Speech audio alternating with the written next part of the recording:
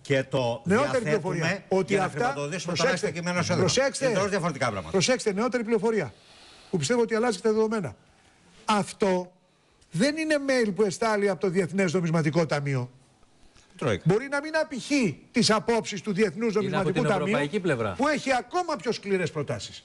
Η συμφωνία πρέπει να έρθει και από το Διεθνές Νομισματικό Ταμείο και από την Τρόικα. Η Τρόι... Στην Τρόικα είναι και το Η Διεθνές Τρόικα Νομισματικό είναι Ταμείο.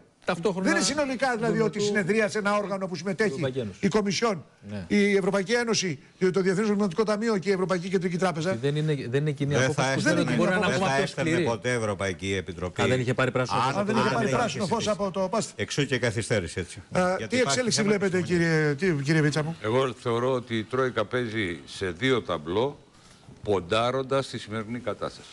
Το ένα είναι το ταμπλό, το οποίο λέει ότι εγώ θέλω να σιγουρέψω το μνημονιακό καθεστώς. Έχω μια κυβέρνηση που συμφωνεί στην πολιτική λογική και έχουμε κάποιες διαφορές όσο αφορά το βάθος των μέτρων.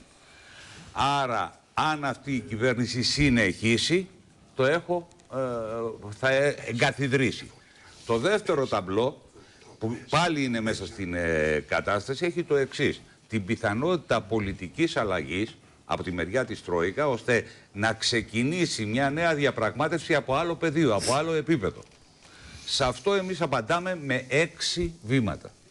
Το βήμα υπαριθμών 1 παράγεται, μάλλον αν διαπιστώσει κανείς ότι όλη αυτή η πολιτική παράγει οικονομική και πολιτική αστάθεια στη χώρα, δηλαδή την πηγαίνει σε χειρότερη φάση, η λύση είναι τα έξι βήματα. Οφείλω για να μην. ε, Πιστεύω να ακούει η κυρία Βούλτεψη τώρα. Δείτε ότι εμείς αντικειμενικά προσεγγίζουμε τα θέματα, κυρία Βούλτεψη. Εδώ όμως προηγουμένως ο κύριος Βαρουφάκης είπε κάτι στο οποίο οφείλεται απάντηση. Είπε. Η κυβέρνηση κάνει λάθος και η Τρόικα έχει δίκιο. Γιατί η κυβέρνηση λέει ότι το χρέος είναι βιώσιμο. Εάν η κυβέρνηση έλεγε ότι το χρέος δεν είναι βιώσιμο, τότε θα μπορούσε να πει όχι, αλλά θα είχε τον εκβιασμό απέναντι της. Θα την εκβίαζε στη συνέχεια. ναι, ναι. Άρα λοιπόν το μπαλάκι πάει σε εσάς. Ωραία. Εσείς λέτε λοιπόν το χρέος δεν είναι Είδατε βιώσιμο. που σας είπα λέτε εγώ. όχι στην Τρόικα και η Τρόικα σας εκβιάζει. Ερχόμαστε λοιπόν στο δεύτερο Ερχόμαστε ταμπλό. την Έτσι επόμενη κι Τι θα αλλιώς, κάνετε εσείς; Η επόμενη η, μέρα. η Τρόικα Την επόμενη γνωρίζει μέρα. πολύ καλά Ναι. τα εξής δύο πράγματα. Είσαστε το κυβέρνηση, πρώτο, το δεν πρώτο προκύπτει πράγμα τώρα είναι συμφωνία, ναι. ότι μην ζητήσει καν συνυπογραφή όπως έκανε με τον κύριο Σαμαρά το 2012 ουκαν λάβεις. Και το δεύτερο πράγμα ότι εμάς το έχουμε πει με όλους τους τρόπους, δεν μας δεσμεύει η υπογραφή αυτής της κυβέρνησης. Πάντως εδώ που τα λέμε, θέλετε να έχουμε σήμερα συμφωνία. Πάμε τώρα. Γιατί Δεν ακούστηκε ότι ο θέλουμε. κύριος Σταθάκης είπε, λέει από το Λονδίνο, ότι Δεν θέλουμε καλό καμία είναι να συμφωνία. τελειώσει τώρα η διαπραγμάτευση. Προσέξτε να δείτε και θα μου πείτε εσείς αν αυτό που λέω είναι λάθος.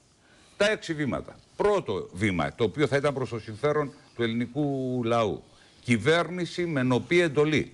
Όπου δεν θα πηγαίνει να συζητάει, να συζητάει αχ τα μέτρα, αχ τα 80 εκατομμύρια, αχ το ένα. Θα λέει ότι εδώ υπάρχει, υπάρχει μια προγραμματική σύγκρουση, επέλεξε ο ελληνικός λαός, ποια, ποιο είναι το πρόγραμμα, άρα πηγαίνουμε με μεγαλύτερη δύναμη. Άρα εκλογές.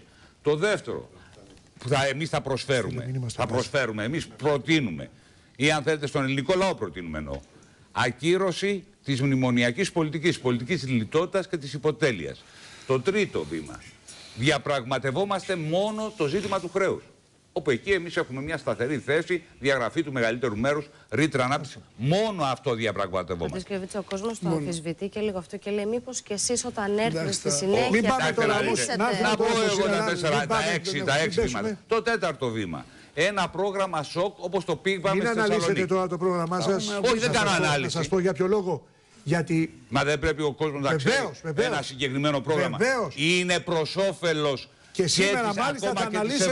Υπάρχει, υπάρχει, και μια ειδική, υπάρχει και μια ειδική εκδήλωση σήμερα στην οποία θα αναλυθεί και το ασφαλιστικό σύστημα. ξέρει ο κ. Μητρόπουλος και Εγώ τα λέω όμως. Αλλά το θέμα είναι σε αυτές τις κρίσιμες στιγμές που μπορεί, έλεγε ο πολιτικός μας συντάκτης, να ξεσκονίσουμε, τώρα δεν ισχύουν τα εκλογικά βιβλιάρια, να ξεσκονίσουμε και τα εκλογικό μας βιβλιάρια. Δηλαδή ίσως αυτή Να ήταν κόντρα- το πρώτο βήμα το οποίο είπα εγώ. εκλογές. Το πρώτο. Μισό βήμα. λεπτό. Το πρώτο βήμα και ξέρετε γιατί χρειάζεται. Αυτή τη στιγμή έχει μια το κυβέρνηση ζητάτε και το θέλετε. πολιτικά απονομιμοποιημένη. Μην το συνδέετε Από με πού τους είναι 180. πολιτικά απονομοποιημένη, κύριε Μα δεν το βλέπετε. Δεν ψηφίζετε, δεν το δεν βλέπετε. έχει πλειοψηφία Εδώ, στη Βουλή. με συγχωρείτε, με Δεν μία έχει έννοια, 156 με βουλευτές. μία έννοια σας είναι κάνουν, το πρόβλημα; με μία έννοια σας, σας λειτουργούν σαν το, γα- σαν το γάιδαρο του Ωραία, Χόντζα. πα- ε, Τον διαπραγματεύεστε διαπραγμάτευση γίνεται. τον βγάζω. Σκληρή Η διαπραγμάτευση. συζήτηση γίνεται Το είπαμε, γιατί ο Εντάξει, κύριος τώρα, Σαμαράς εσείς- έχει δεχθεί όλη την Δεν πολιτική, την νομίζω ότι πολιτική μπορεί ο λογική. ΣΥΡΙΖΑ να κάνει Αν δεν το πιο καταλαβαίνετε, κύριε σκληρή Ταμίλο. διαπραγμάτευση Μα κύριε από Ταμίλο, την με άλλη. συγχωρείτε.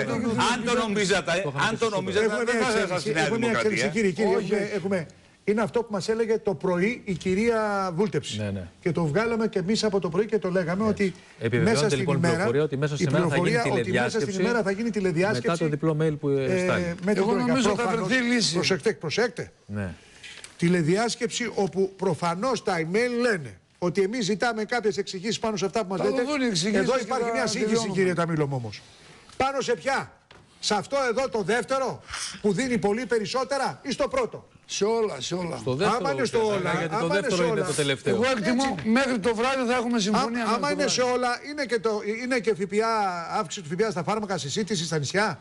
Αυτά είναι που και για προτείνει η την κυβέρνηση. μείωση, είναι την κατάργηση της μείωσης της ειδικής εισφοράς αλληλεγγύης. Μα κύριε Παπαδάκη, μισό λεπτό, μισό λεπτό. Γιατί είπε και ο κύριος Βίτσας το ένα σενάριο. Εγώ λέω το εξής.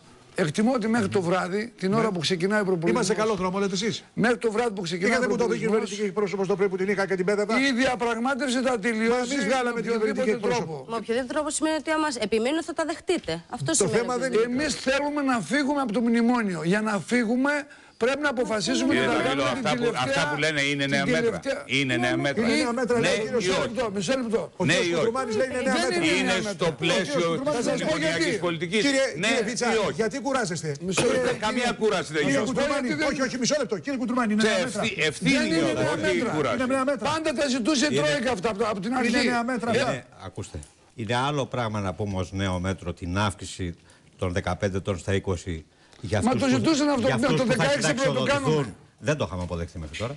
Κανένας δεν. Ναι, το ζητούσαν αυτοί όμως Ή το από ΕΚΑΣ. παλιά. Δεν είναι νέο μέτρο. Ναι. Η Κοιτάξτε, εισφορά αλληλεγγύης δεν είναι νέο άλλο μέτρο. πράγμα όμως. Η αύξηση του ΦΠΑ. ΦΠΑ Το δεν είναι να νέο πεις ότι μέτρο. κάνω ένα εξορθολογισμό, μια αναμόρφωση του ΕΚΑΣ που είναι αναγκαία και άλλο πράγμα να πας να μειώσεις τις τάξεις. Έτσι. Λοιπόν, ε, να διακρίνουμε τη διαφορά. Όλα αυτά αν, η είναι νέα μέτρα. Τρόικα, αν η Τρόικα έχει υποχωρήσει στο θέμα τις, τις απαιτήσεις που είχε για τη μείωση της Φαίνεται τάξης, κάτι τέτοιο με Είναι στιγμής. Φαίνεται, Φαίνεται κάτι τέτοιο με ότι στιγμής. έχει γίνει ένα βήμα. Κύριε Παπαδάκη, μισό λεπτό. Γιατί δεν πρόκειται η ελληνική κυβέρνηση να αποδεχτεί. Μισό, λοιπόν, θα το συνεχίσουμε. Θα το συνεχίσουμε επειδή μας Μειώστε τις περιμένει, τάξεις. Ωραία. επειδή μας περιμένει και πάμε μέχρι τη Θεσσαλονίκη.